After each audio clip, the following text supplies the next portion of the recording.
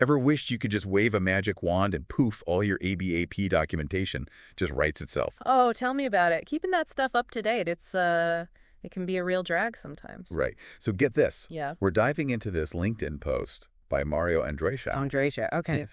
And he lays out this super cool way to automate ABAP documentation using AI. Oh, wow. And and get this, it works on legacy systems too. No kidding. Even without cloud integration. No cloud needed. Oh. No changes to your SAP system, just straight up AI magic. That's impressive. How's he pulling that off? Well, he's basically put together like this this toolkit, Okay. uses Visual Studio Code, you know that, Yeah, yeah. with this extension called Cline. Cline. Then there's an AI model. You can even pick which one you want to use. Okay. And he uses the MCP app at server to talk to your SAP system. I see. And oh, he throws in Mermaid CLI sometimes to make some cool diagrams. Oh, nice. For visualizations. But uh, before we get lost in all the techie stuff, Oh. can you walk us through how it actually works? Sure, sure. So Andre Shack, he sets up this four-step workflow, and it's actually pretty simple when you get down to it. Okay. It all starts with what he calls plan mode. This is where Cline gathers all the info about the ABAP object you want to document. So like a package. Exactly, yeah, a package, a program, whatever you need. Okay. And Cline uses a prompt, kind of like a specific instruction you give it, Right. and then it connects to your SAP system using that MCP app server we talked about. The sign's like our little AI assistant grabbing all the details we need based on what we tell it. You got it. And then once Cline has all the info, things get really interesting. We move into act mode. Act mode, like uh, like acting. Yeah, exactly. Oh. It takes all that data and starts generating documentation in Markdown format. Cool. It even uses a predefined template so everything looks nice and consistent. Makes sense. So we've got the basic documentation framework. What happens next? Now it's time for visuals. Clank can capture screenshots of all the important SAP GUI transactions. Really? Yeah, like E SE38, SE24, anything you normally use with your ABAP objects. Wow. It uses another prompt for this and interacts with the GUI through something called MCP SAP GUI. Okay.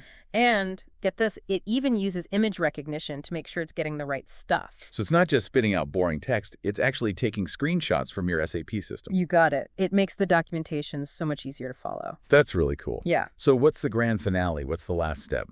Well, in the last step, it's all about putting it all together. You know, the finishing touches. Right. Cline can render mermaid diagrams, which can be flowcharts or class diagrams, Okay. all sorts of visualizations. And then it combines all the pieces into one big markdown document. Sounds pretty efficient. You've mentioned prompts a couple of times now. Seems like they're a pretty big deal in this whole thing. Absolutely. They're at the heart of the whole workflow. Every action Cline takes is guided by these specific prompts. And how many are there? There are four main ones that Andres Schock highlights in his post. Okay. One to kick off the documentation, one for the screenshots, one for diagrams and combining files, Oh, Right. and a last one to clean up any temporary files. Gotcha. And the best part is they're designed to be super easy to use. You just copy and paste them. Wait, copy and paste. Yeah, you don't need to be a coding whiz to make this work. So you're telling me. You just grab the prompts from his GitHub, Okay. Paste them into Cline, and let the AI do its thing. That's wild.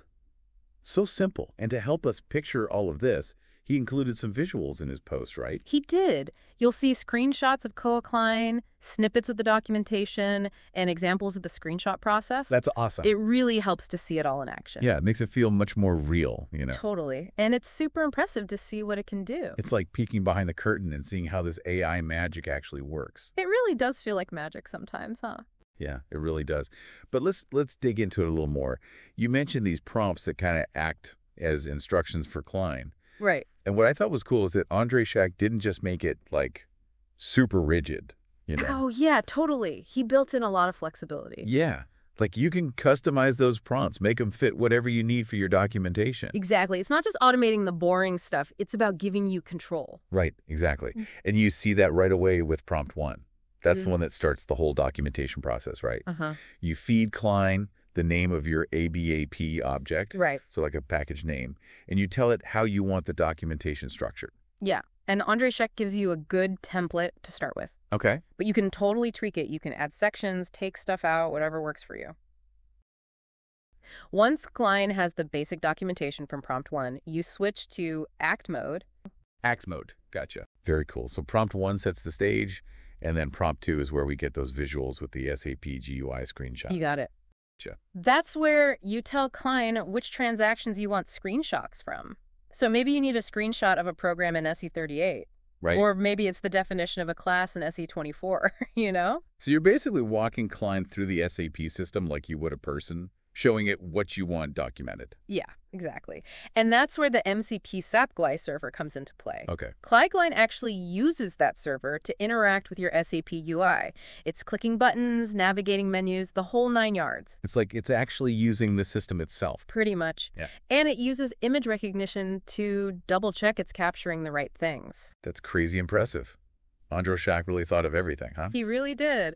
And then we get to prompt three. This is where things get visually interesting. This is for those mermaid diagrams. Oh, yeah. Those are really cool. They're a great way to show information visually right in the documentation. Yeah, like flowcharts, sequence diagrams, class diagrams, all right there using like simple code. And Cline does all the rendering using the Mermaid CLI, so you don't need any extra design tools. That's all built in. Exactly. Super streamlined. I love it. So prompt three, we're making things pretty, and then Cline also combines all the chapters into one document, right? It does, yeah. It's a technical thing.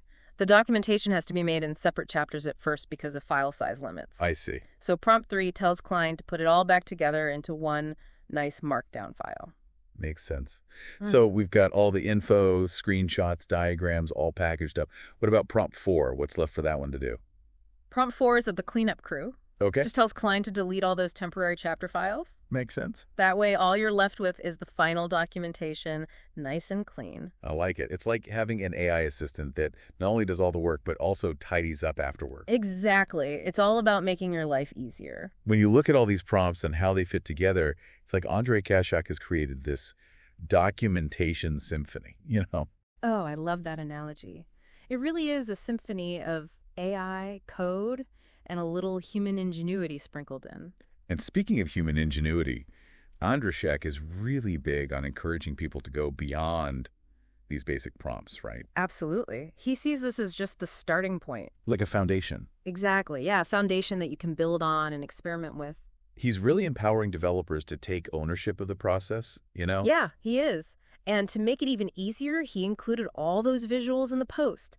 Screenshots of POX lines, snippets of the documentation, examples of the screenshot capturing. Yeah, those must be really helpful for someone who's just starting out with all this. They really are. It's one thing to hear about it, but seeing it all in action, that's what really makes it click. I bet it becomes much more real. Totally. And when you see what it can do, it's really impressive. You know, I can imagine someone seeing those visuals and thinking, I can actually do this. Right. That's got to be such a powerful feeling, especially with a technology like AI that feels so, I don't know, transformative. Absolutely. This goes way beyond just automating some documentation, you know. It's about giving developers more power, sparking their creativity, and hopefully leading to better software all around. Helping them out, finding problems and making things more efficient. Exactly. And it's not just about bugs. AI could help with performance, security, even refactoring code, things that take a lot of time and expertise. Right. AI could make those tasks faster, easier, and accessible to more developers. It's like having a whole team of code reviewers working with you, constantly giving you feedback and suggestions. That's a great way to put it. it makes you think about how the role of a developer will change with all this AI. That's the big question, isn't it? I think developers will need to be more strategic, focus on the big picture, the design and problem solving, and let the AI handle the more routine stuff. So less about writing code and more about using AI effectively. Yeah, exactly. Knowing how to tell the AI what to do and how to use the results. And can't forget about communication and collaboration. Oh, absolutely. Yeah. Those skills are going to be even more important as developers work more closely with AI and with people who might not be as technical. It's a good reminder that even with all this automation, human skills are still essential. Definitely. We're not just building software, we're building solutions for people. That's what makes all of this so interesting. This whole thing that Andrzejczak started, it's not just about making things more efficient. It's about changing how we think about software development. It is. It's about the future of development, how the role of the developer is changing, and how humans and AI can work together. It's like a call to action for all of us developers, right? Yeah. Keep learning, stay curious, embrace the changes. You never know. You might be the one who builds the next amazing AI powered tool. That's right. Yeah. Well, this has been a really fascinating deep dive, wouldn't you say? It really has. I'm feeling pretty optimistic about what the future holds. Me too. Who would have thought that ABAP documentation could lead to such a big conversation? Right. Don't forget to check out Mario Andrzejczak's post if you want to learn more. It's a great place to start. It just shows how powerful it is to share knowledge and get people excited about new ideas.